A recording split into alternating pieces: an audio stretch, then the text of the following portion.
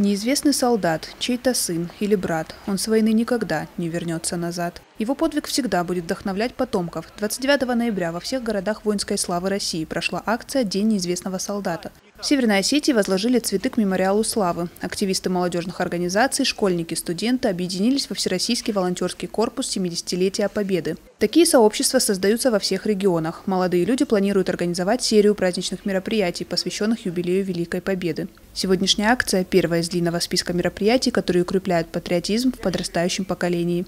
Они совершили этот подвиг, и мы теперь несем это знамя, кто может.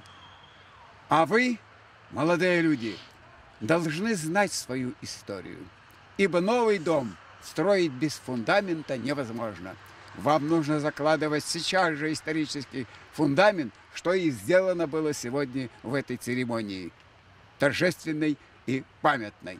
После церемонии юные волонтеры отправились поздравлять ветеранов, которые не смогли присутствовать на возложении цветов. Им вручили подарки и календари с основными мероприятиями празднования Дня Победы. Фотоотчет волонтерского корпуса появится в социальной сети Инстаграм. Фатима Макиева, Тинатин Музашвили, Евгений Маркин, Осетия ТВ.